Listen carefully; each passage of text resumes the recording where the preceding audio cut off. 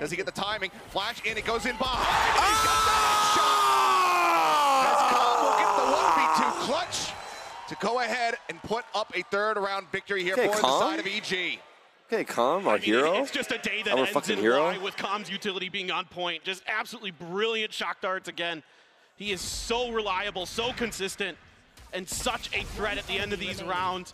It's perfectly placed. Divine, nothing he can really do about it. They opted to hide from the recon dart instead of trying to clear it. And that gives him the space that he needs. Oh my God.